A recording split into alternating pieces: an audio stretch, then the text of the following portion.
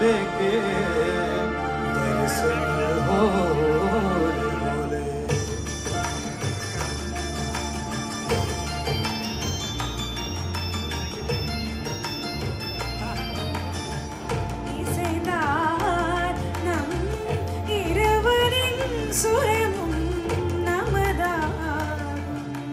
We're all feeling very helpless. Uh, there are lots of doctors here of Indian heritage um, who are feeling very vulnerable and very helpless, watching the unfolding crisis in India and not really being able to help in a meaningful way. Uh, this vigil was a way for us to show our solidarity with our Indian colleagues of the patients who are dying, uh, to say that we are aware and we respect them for the difficult moral decisions that they are making, for showing up to work every day.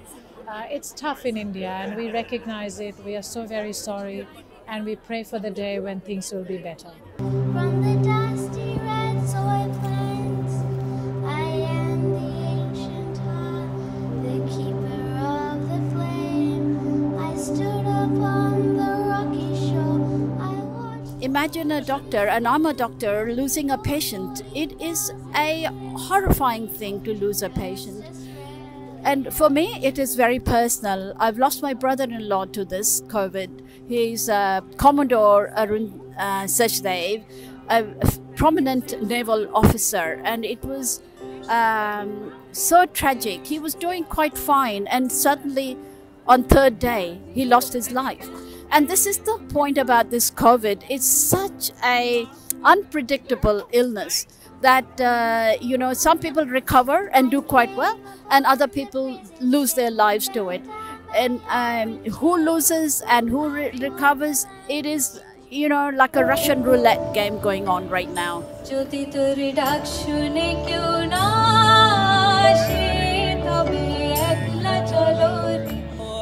We've here today. Um, so four of us, four doctors here: Dr. Ranjana, myself, uh, Dr. Nisha, and Dr. Manjula.